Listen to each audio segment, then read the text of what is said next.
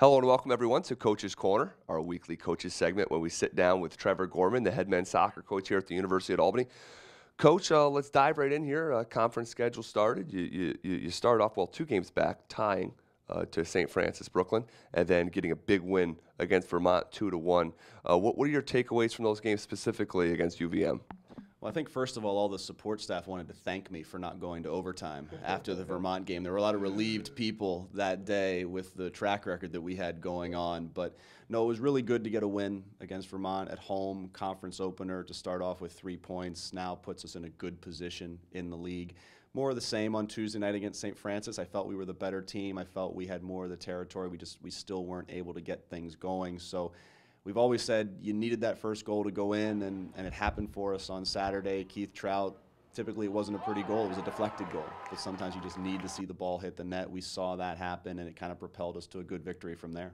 Are you hoping the 2 1 victory for Vermont sort of kickstarts your offense a little bit and, and, and getting propelled in the right direction or through the rest of your schedule?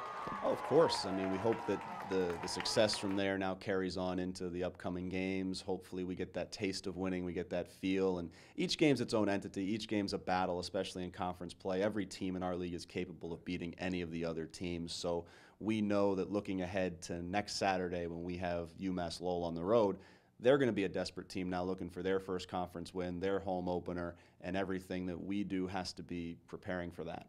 I want to ask you about your goalkeeper, Tim Allen, uh, America East Player of the Week. He's got the highest save percentage in the conference. Speak to the way he's playing right now.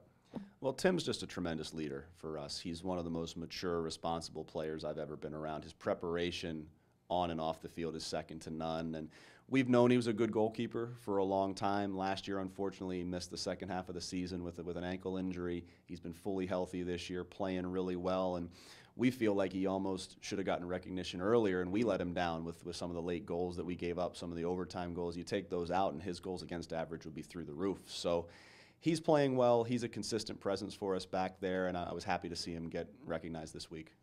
All right, uh, coming up on the schedule, you do have Syracuse, a, top 10 team in Division One soccer, followed by UMass Lowell.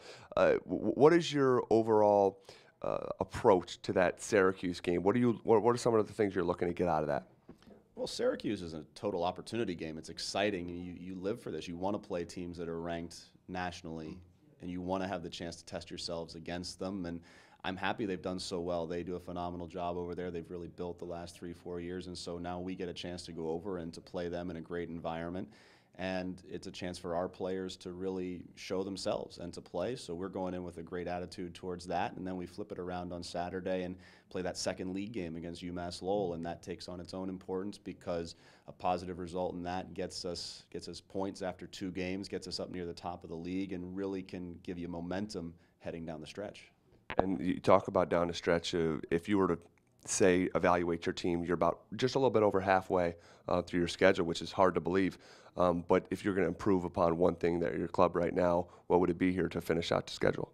Well, we just want to keep getting better in the attacking third of the field. I think that's the goal of every team throughout a season is you have to find ways to be dangerous to score goals. You have to have movement, you have to have consistency and as a year goes on, you play opponents that are more and more familiar with you. They scout you and they prepare to take away what it is that you do best. So the good teams have to keep evolving and have to keep finding ways to have success and change things up. So that's always the biggest challenge. That's what we spend the most time working on and hopefully it pays off.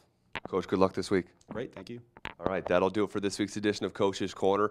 Uh, as always, you can check us out next week where Coach and I will sit down and we'll recap the Syracuse game and the Lowell game as well, and then look ahead to the rest of the home stretch of the American East schedule. For Coach Gorman, I'm Zach By. We'll see you next time.